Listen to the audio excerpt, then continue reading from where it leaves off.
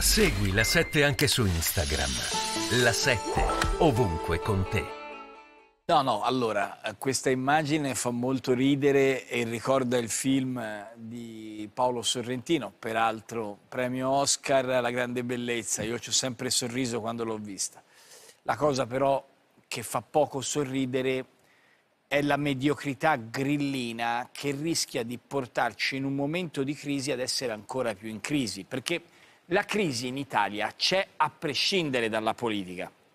Migrazione, carestia, siccità, crisi energetica, guerra, pandemia, sono tutte cose che non dipendono solo dalla politica internazionale, ma che comunque creano alle famiglie un effetto dannoso. Qual è questo effetto? L'inflazione, il primo. Certo. Cioè costa di più vivere.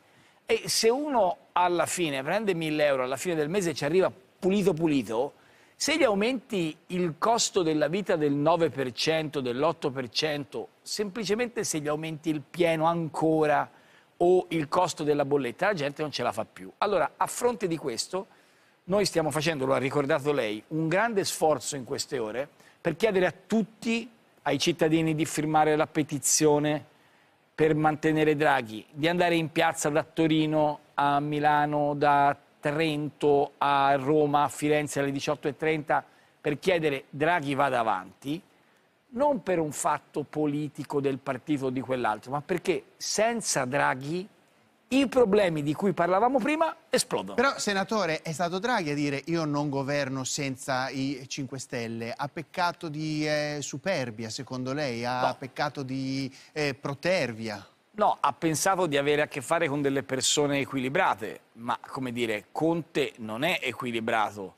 Io dico sempre che Draghi è uno statista che pensa al paese, Conte è uno stagista che pensa ai grillini.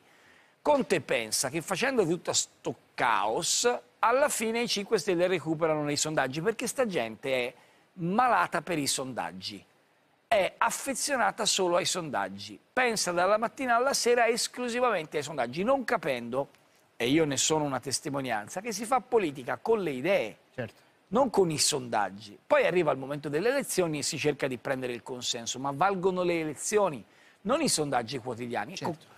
Conte